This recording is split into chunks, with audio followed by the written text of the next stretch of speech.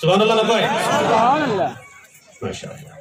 এইকাৰণে ৰহমত বোলা হৈছিল আল্লাহৰ ৰচুলে ন্যায় প্ৰতিষ্ঠাৰ বাবে সত্য প্ৰতিষ্ঠা কৰাৰ বাবে লৰাই কৰিব লগা হৈছিল।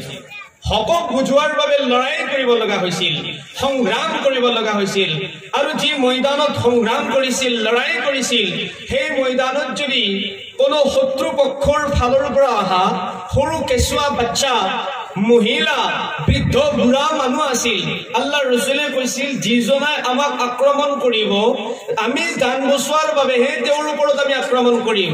কিন্তু আমি নিজৰ প্ৰতি হোদ লোৱাৰ বাবে তেওঁলোকৰ বাচ্চা তেওঁলোকৰ মহিলা তেওঁলোকৰ বৃদ্ধা মানুহসকলৰ ওপৰত হাত উঠুৱাব পৰা নাযাব।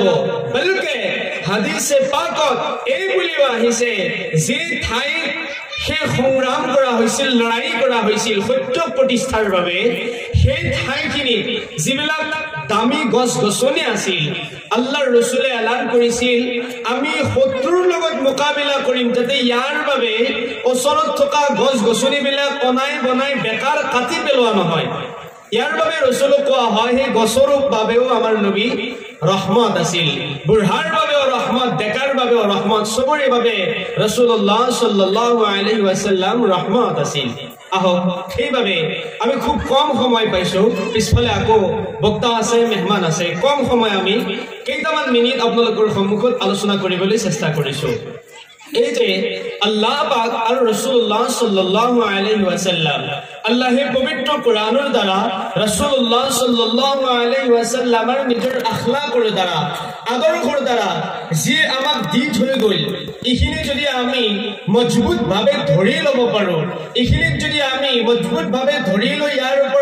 আমল কৰিব পাৰো। যিখিনি শুনা হ'ব ইয়াক যদি আমাৰ প্ৰেক্টিকেল লাইফত এপ্লাই কৰিব পাৰো তেন্তে আমি প্ৰত্যেকে হ'ব পাৰিম একো একোজন মুমিন। একো একোজন জান্নাত নে জাহান্নাম? জান্নাত। জান্নাত। আল্লাহ পাক রব্বুল ইজ্জতে এলান করিলে বিসমিল্লাহির রহমানির রহিম ইন্নাল্লাযীনা আমানু ওয়া আমিলুস সালিহাতি কানাত লাহুম জান্নাতুল ফিরদাউসি নুজুলা। নিশ্চিতভাৱে যিসকল মুমিন হ'ব মুমিন হ'বলৈ যাওঁতে অলপ কষ্ট হ'ব পাৰে। তাৰ পিছতো মুমিনৰ চিফাত ইমানৰ চিফাত মুছলিমৰ চিফাত তেওঁ গ্ৰহণ কৰিব। সেইখিনিক আকোৱালি ল'ব আল্লাহ ৰচুলৰ আদৰ্শক আকোৱালি ল'ব আল্লাহ পাকৰ বাণীৰ ওপৰত আমল কৰিব। এইসকল মুমিনৰ বাবে আল্লাহ পাকে তৈয়াৰ কৰি ৰাখিছে জান্নাতুল সুবহানাল্লাহ সুবহানাল্লাহ। এবাৰ ডাঙৰকৈ কওক সুবহানাল্লাহ। যাই ক'ব। সুবহানাল্লাহ ক'লে পাপ হ'ব? পাপ নহ'লে ডাঙৰকৈ ক'ব ইনশাল্লাহ ইয়াৰ পিছত। ক'বতো ইনশাল্লাহ বেয়া পাইছে। আল্লাহ পাক ৰব্বুল ইজ্জতে এলান কৰিলে যদিহে তোমালোকে মুমিন হ'ব পৰা।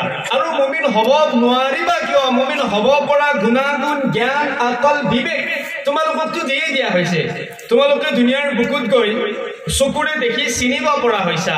কোনটো ভাল কোনটো ভুল কোনটো নেকিৰ কাম কোনটো পাপৰ কাম তোমালোকক জ্ঞান দিয়া হ'ল বিবেক দিয়া হ'ল বুজাৰ শক্তি জনাৰ শক্তি কলাৰ শক্তি দেখাৰ শক্তি বুজোৱাৰ শক্তি বুজিব পৰাৰ শক্তি চব দিয়া হ'ল।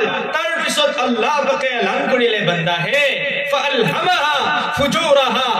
তাকৱাহা তোমালোকৰ বাবে দুটা ৰাস্তা আছে এটা নেকিৰ ৰাস্তা এটা পাপৰ ৰাস্তা এই যে তোমালোকক মই জ্ঞান দিলো বুজা শক্তি দিলো আকল দিলো তোমালোকে এই জ্ঞানেৰে চিন্তা কৰিবা সিদ্ধান্ত ল'বা তুমি নেকিৰ কামটোক নেকিৰ ৰাস্তাটোক আঁকোৱালি ল'বা নে পাপৰ ৰাস্তাটোক আঁকোৱালি ল'বা এতিয়া